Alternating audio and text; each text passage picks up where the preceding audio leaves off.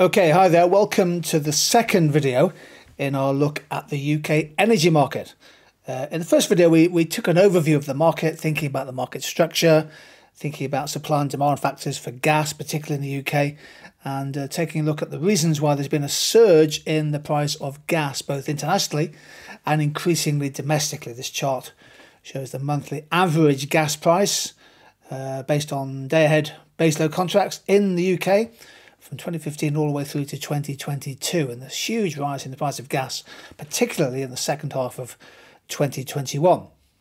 Well, Ofgem, the uh, industry regulator, announced last week uh, an increase, a significant increase in the the energy price cap. This is the cap that suppliers uh, can charge, the maximum price they can charge per unit of energy, per kilowatt of energy Huge rise in the price cap, something like a 54% increase from £1,277 to just under £2,000. Uh, and in fact, some estimates think that the next price cap announcement in six months' time could actually be even higher than that, above two and a half, perhaps two and a half thousand pounds. Much depends, of course, on what happens to the world or the European price of gas and also the UK price. You can see, for example, that the wholesale price is now built into that price cap, thousand pounds per household. And also the network costs have gone up quite a bit as well. The main driver of that is the fact that the, the big energy companies have been having to take on uh, supply of last resort functions as uh, tens of smaller energy companies have gone bust, the likes of Bulb Energy and, and CNG, and they're allowed to make a claim for additional costs that they incur uh, as they take over you know, hundreds of thousands of customers. So those network costs have gone up as well. But the price cap is now just under £2,000. This is a significant, a huge factor affecting the UK economy. One aspect will be, is scheduled to be an increase in fuel poverty. Now, this is a key concept that I think students could be aware of. Fuel poverty is also known as fuel stress and it happens when, after spending the required amount to heat their home, a household, a family, if you like, is left with a residual income below the official poverty line, which I think is 60% of median income, adjusted, of course, for household size.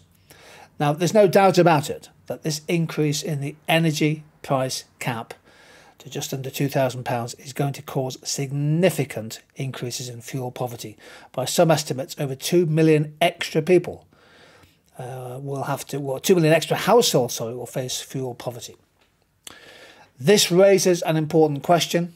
What can, what could, what should the government do if, if it wants to intervene in the market to limit the impact of the surge in energy prices? I guess in the short term, uh, we, we, we can look at some of the options. The first one be cut off is VAT on gas bills. Uh, perhaps uh, have a, a, one or two year freeze on VAT. Uh, the, the, the, issue there is that VAT is only 5% and it wouldn't actually make fundamentally a big difference. And so to the second point, a freeze the contributions to gas bills from the climate change levies. In other words, hold back on the, the costs, some of the external, externality costs that consumers are paying uh, towards the meeting the government's climate change targets. The government could offer pure cash transfers, the winter cold weather payments made to poorer households. Uh, there's something called the Warm Homes Rebate, which is paid to families on a means tested benefit basis. So people on low incomes are more entitled to those rebates. And many people have been arguing that the government should do more to increase the targeted help and support for families on low incomes, often bigger families who have huge gas and electricity bills. Another option uh, is the, the state backed loans to energy companies to help absorb their higher costs. Those loans can be paid back when prices are lower and profits are higher. The actual preferred in, introduced policy from Rishi Sunak is that uh, they've introduced uh, uh a £200 rebate or £200 off people's electricity bills. It's going to cost about five and a half billion pounds. Uh, this is only this is only going to kick in, by the way, in October 2022.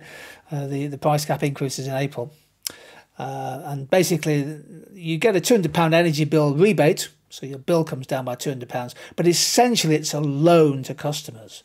and the Chancellor is aiming to recoup, to reclaim the money by adding, I think, uh, 40 or 50 pounds, maybe, I think it might be 40 pounds, to uh, electricity bills for each of the next five years from 2023.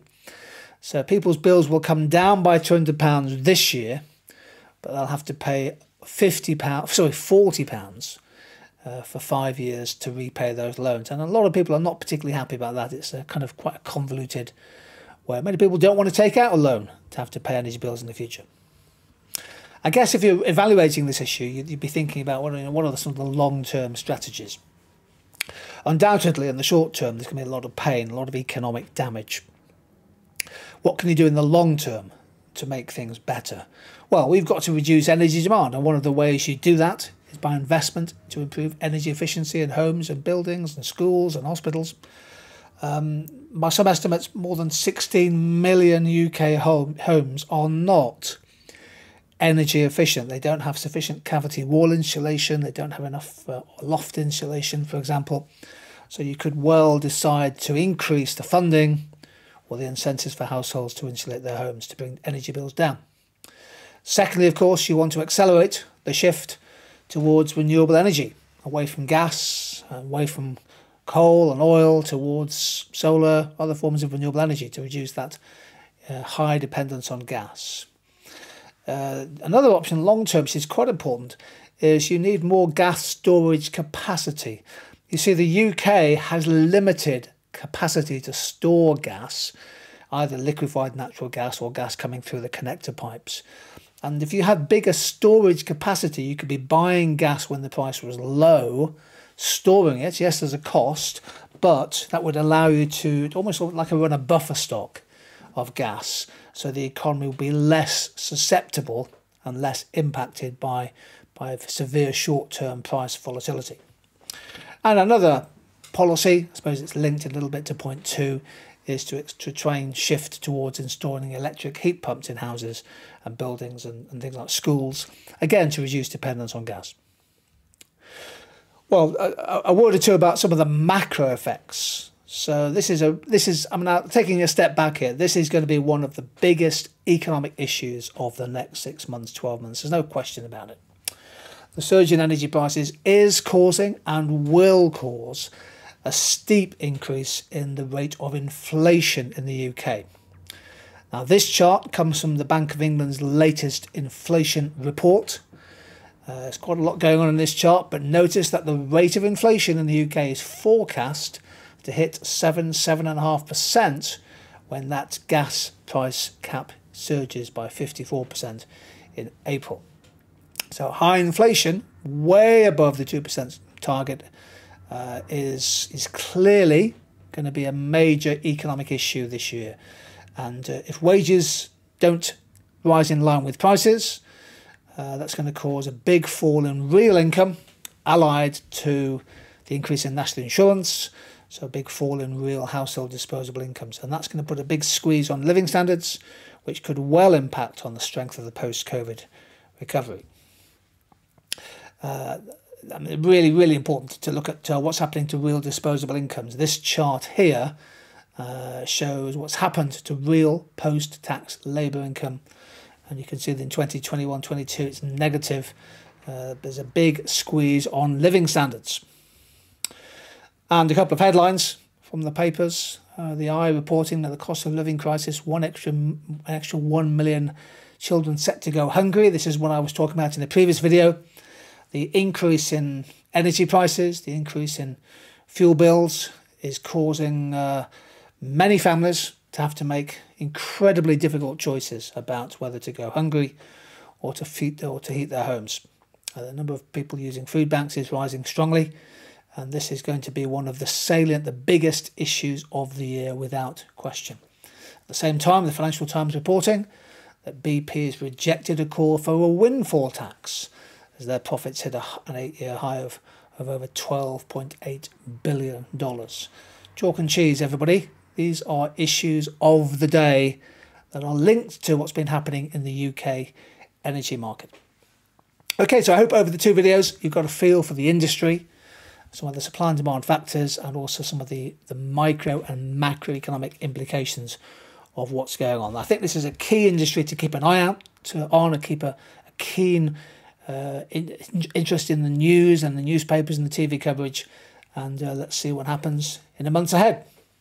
Thanks for joining in, everybody. Stay safe, stay curious, and hopefully see you sometime soon.